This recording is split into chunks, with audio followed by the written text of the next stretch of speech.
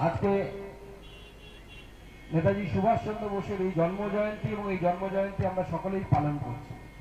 বাংলার ঘরে ঘরে নেতাজি সুভাষচন্দ্র বসুর জন্ম জয়ন্তী পালন হয়।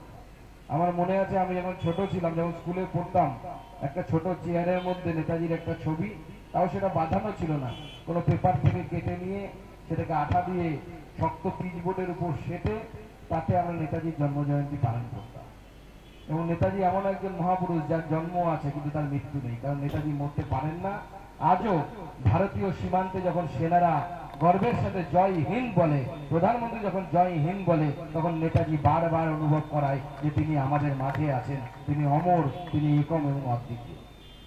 মাননীয় প্রধানমন্ত্রী আজকে নেতাজি সুভাষচন্দ্র বসুর এই জন্ম জয়ন্তীতে আন্দামান নিকোবরের একুশটি দ্বীপের নাম, সেনাবাহিনীর যারা ভারত সেনাবাহিনীতে যারা পরমবীর চক্র পেয়েছেন, যারা নিজের জীবন অনেকে দেশের জন্য বলিদান করেছেন, সেই রকম একুশ জন সেনানীর নামে আজকে একুশটি দ্বীপের তিনি নামকরণ করলেন।